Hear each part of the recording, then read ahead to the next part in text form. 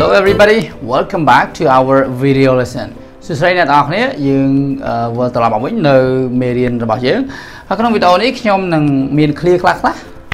សម្រាប់គ្នាយើងយកទៅប្រើប្រាស់ប្រចាំថ្ងៃបានអូខេតាយើងមើលតគ្នាអូខេអញ្ចឹងទី1យើងមើល Well other ways to say hello other ways to say hello អឺវិធីផ្សេងខ្លះទៀតដែលយើងអាចនិយាយជំនួស hello បាន hello ក៏អត់មានបញ្ហាដែរខ្ញុំនិយាយ hello រាល់ថ្ងៃ ប៉ុន្តែយើងមានវិធីសាស្ត្រផ្សេងទៀតណាដែលមិនមែនគ្រាន់តែ hello ទេជួនកាលយើងជួបគេយើង greeting ជាមួយគេផ្សេងផ្សេង OK យើងមើលបងប្អូនគ្នា OK យើងមើល hello you know that yeah hello hello សួស្តី hello or you can say hi hi hello ជាផ្លូវការជាង hi hi យើងប្រើសម្រាប់មិត្តភ័ក្តិឬមួយក៏ hey hey ក៏សម្រាប់ប្រើមួយមិត្តភ័ក្តិដែរ hi ឬមួយក៏ hey វា less formal វាអត់សូវផ្លូវការដូច hello ទេ hello គឺផ្លូវការ OK yeah ចឹងមានន័យដូចគ្នាទេសួស្តីសួស្តីឬមួយក៏យើងនិយាយ what's up hey what's up ហឹមហឹម what's up what's up what's up OK មិន what is up ទេ what's up what's up យើងអានថា what's up what's up OK ចឹង what's up នោះក៏មានន័យថា hello ដែរសួស្តីដែរ OK ប៉ុន្តែ what's up very informal យើងប្រើបានជាមួយអ្នកដែលយើងស្គាល់ចិត្តដិតបំផុតឬមួយក៏មិត្តភ័ក្តិរបស់យើង បងប្អូនរបស់យើងអ្នកណាក៏ដោយដែលយើងមានអារម្មណ៍ថាយើងស្គាល់ចិត្តស្និទ្ធនិយាយទៅគេអត់សូវខឹងតែពេល WhatsApp យើងនិយាយជាមួយប្រធានរបស់យើងវាអត់សមទេ OK ប្រធានរបស់យើងអាចប្រើ hello ឬមួយក៏ good morning good afternoon good evening ទៅតាមពេលវេលាអញ្ចឹង what's up hello ដែរប៉ុន្តែប្រើបានជាមួយអ្នកដែលស្និទ្ធស្នាលមួយយើងបំផុតឬមួយក៏មួយទៀតយើងអាចនិយាយគឺ what's happening what's happening OK what's happening OK what's happening មានន័យថាស្មើនឹង hello ដែរឧមាថាយើងជួបគេពេលព្រឹកអញ្ចឹង អឺមករួមការងារឬអីចឹង hey what's happening meaning hello yeah good morning អីចឹងទៅ OK អឺខ្ញុំដាក់ឲ្យមួយទៀតសម្រាប់គ្នាយើងគឺគេអាចនិយាយមួយទៀតដែរគឺ greeting OK greetings OK greetings greeting ហ្នឹងគឺជាការស្វាគមន៍គ្នាដល់ពេល greetings complete មាន s greetings មាន hello ដូចគ្នាអូខេអញ្ចឹង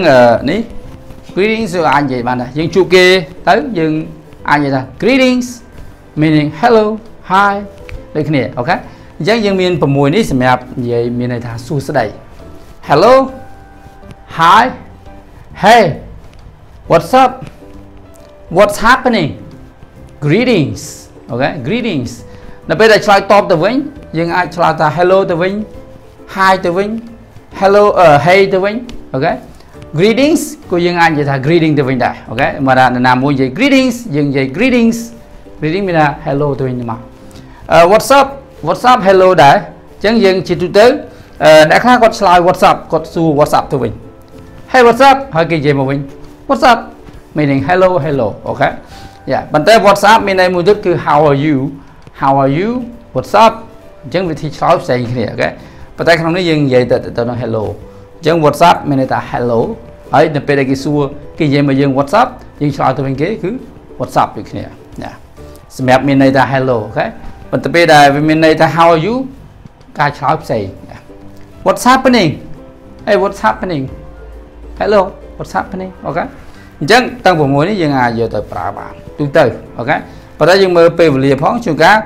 យើងខ្ញុំលើកទឹកចិត្តយើងប្រើជាមួយប្រធានរបស់យើងយើងប្រើ hello ឬមួយ good morning good afternoon good evening អាស្រ័យតាមពេលវេលាណាទាំងអស់នេះគឺសម្រាប់ប្រើជាមួយមិត្តភ័ក្តិអឺបងប្អូនឬនរណាមួយដែលយើងជិតដិត yeah OK OK តោះយើងមើលសុំទោសណាខ្ញុំអត់សូវខ្លួនអឺយើងមើលនេះ other way to say goodbye នេះគឺ hello សួស្តីដល់ពេល goodbye bye bye មានន័យថាលាហើយ OK មកឯងដល់លាហើយអញ្ចឹងយើងអាចនិយាយថា goodbye ឬមួយក៏ bye bye bye bye មិន bye bye ណាអក្សរ b ជាខ្យល់របស់វាអូខេ b សលេងវាយ៉ាងស្រាល bye bye យ៉ាប៉ះប៉ះប៉ះយ៉ា bye bye bye bye យ៉ា see you យើងអាចនិយាយដែរតែពេលដែលយើងលាគេ see you see you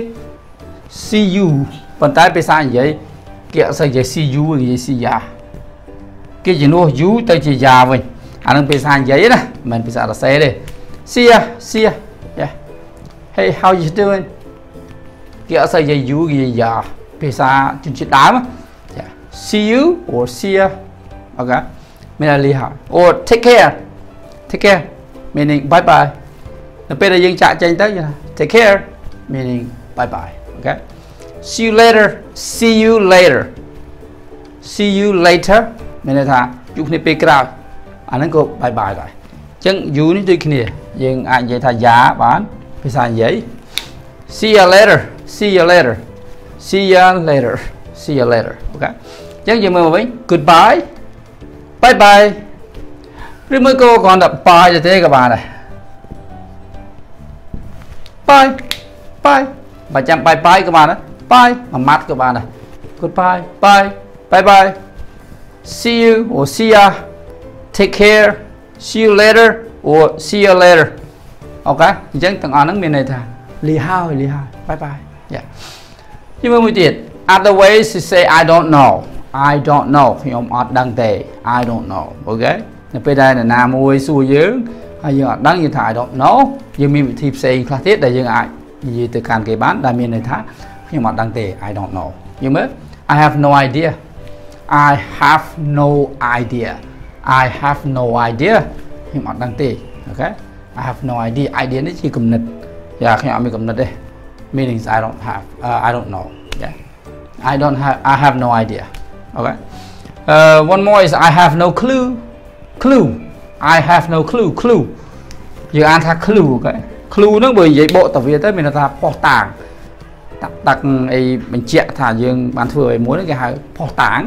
clue ផុសតាងអញ្ចឹង I have no clue meaning I don't know I have no clue I don't know okay or I'm not so sure uh, I'm not sure well I'm not sure ក៏មានន័យថា I don't know ដែរនៅពេលដែលនរណាមួយគេនិយាយមួយគេសួរយើងហើយយើងអត់ដឹងយើងអាចនិយាយថា well I'm not sure sure or sure same thing I say sure it's okay you can say sure but not sure sir no it's it's wrong okay sure or sure it's fine I'm not sure okay I'm not sure hmm I don't know okay or the last one is uh, you use with friends យើងប្រើជាមួយមិត្តភ័ក្តិបាន okay beats me beats me means I don't know នៅពេលមិត្តភ័ក្តិយើងសួរយើងពីស្អីមួយឃើញតារានេះចេះចេះមកអីអា beats me beats me beats me means I don't know yeah I don't know so I don't know I have no clue I have no idea I have no clue I'm not sure Beats me អូខេអញ្ចឹងទាំង5នេះមានន័យតែមួយគឺខ្ញុំអត់ដឹងទេអូខេអញ្ចឹងនេះ5នេះខ្លះទៀតនេះខ្លះទៀតអញ្ចឹងរបៀបនិយាយ hello វិធីផ្សេងដែលនិយាយ hello មានប៉ុណ្ណេះវិធីផ្សេងនិយាយ goodbye មានប៉ុណ្ណេះវិធីផ្សេងនិយាយ I don't know មានប៉ុណ្ណេះមិនមែនមានខ្ញុំនិយាយថាមានប៉ុណ្ណឹងគឺក្នុងវីដេអូហ្នឹងមានប៉ុណ្ណឹងមិនមែនថាអញ្ចឹងអង់គ្លេសទាំងអស់ហ្នឹងមានតែប៉ុណ្ណឹងទេ No អត់ទេ I don't know មានច្រើនទៀត bye bye ក៏មានខ្លះទៀតដែរ hello ក៏មានខ្លះទៀតដែរអូខេប៉ុន្តែនេះគឺជាអ្វីដែលគេប្រើទូទៅប្រចាំថ្ងៃរាល់ថ្ងៃគេប្រើទូទៅខ្ញុំលើកយកអ្វីដែល practical គេហៅ practical English ជាភាសាអង់គ្លេសដែលគេអាចគេប្រើនិយាយទៅប្រើបានតែម្ដងមិនមែនភាសាអង់គ្លេសដែលយូរយូរគេប្រើម្ដងឯអត់ទេ OK យើងទាំងអស់ហ្នឹងគឺយើងអាចយកទៅប្រើបានភ្លាមភ្លាមហ្មងថ្ងៃហ្នឹងយកទៅនិយាយហ្មង yeah យើងនិយាយចឹង OK អរគុណច្រើនណាអឺយើងនឹងជួបគ្នានៅវីដេអូបន្តទៀត bye bye